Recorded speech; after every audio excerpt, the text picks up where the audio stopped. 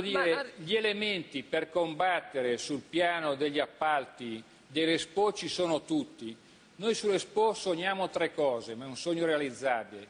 Un Expo con i cantieri senza neanche un morto, un Expo senza neanche una lira di lavoro nero e si può fare se la magistratura, l'ispettorato del lavoro e tutte le forze ci aiutano e quindi un Expo senza morti, senza lavoro nero vuol dire anche un Expo senza mafia.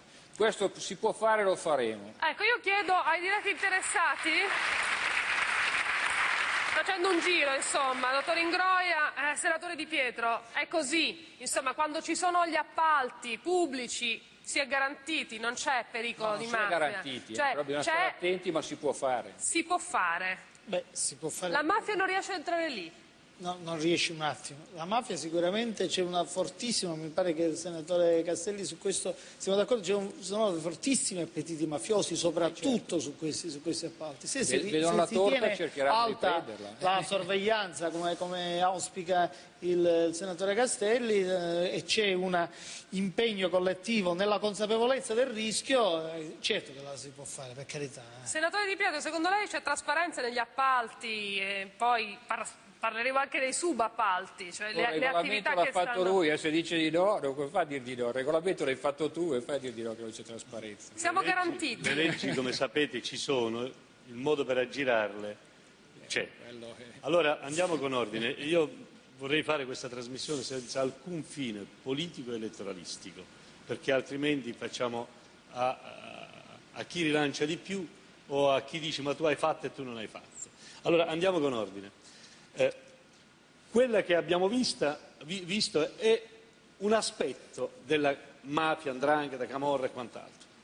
Io credo, per, le- per la miriade di inchieste che sono state fatte, in Italia, al nord e al sud, che la mafia dentro il sistema degli appalti c'è e come. È una miriade di indagini a Palermo, a Catania, a Milano, a Torino, a Genova, a Venezia, dappertutto dimostrano che non esiste più il concetto di mafia criminalità del sud che è emigrata al nord. Ormai non ha più eh, data anagrafica la mafia. La- eh, quella mafia, non mi riferisco a quella spicciola del- che va a fare l'estorsione o il ricatto al bar per farsi dare il 10%. È più elegante Quella- la mafia Oggi c'è un'altra mafia che sta proprio dentro, si affianca le istituzioni, a volte sta dentro le istituzioni e in questo senso ci sono una miriade di im- imprese del nord che al nord come al sud e una miriade di imprese del sud che al sud come al nord stanno con- facendo connivenze con la mafia. Nei grandi appalti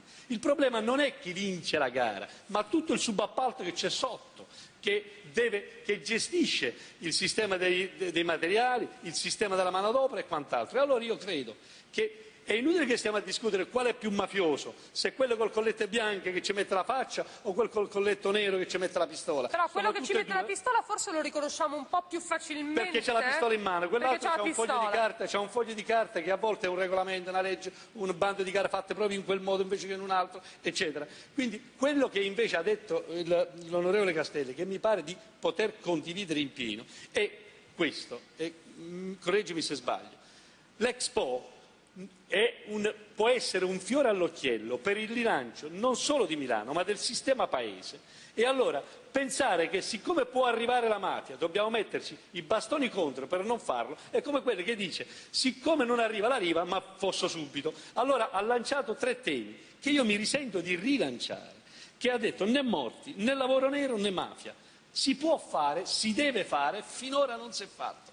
Io potrei, se volessi fare politica, dirgliene di cotte e di crudo contro quel che possono non aver fatto loro su questi tre temi. Loro mi possono dire di cotte e di crudo più uno di quel che non abbiamo fatto noi. Io credo però che se ci mettiamo un po' più di controlli, ma nel senso di personale, un po' più di soldi a disposizione delle forze dell'ordine e della magistratura e un po' più di attenzione nella individuazione delle persone da scegliere per questo controllo. Una regola sola metterei io prima e vorrei sapere cosa ne pensa su questo. Una regola di un rigo solo. Tutte le imprese i cui imprenditori sono stati condannati in via definitiva per reati contro la pubblica amministrazione, per reati attenenti alla sicurezza o a- al- al materia- alla materia del lavoro, non possono partecipare alle gare pubbliche, né come appaltatori né come subappaltatori. Hai detto niente.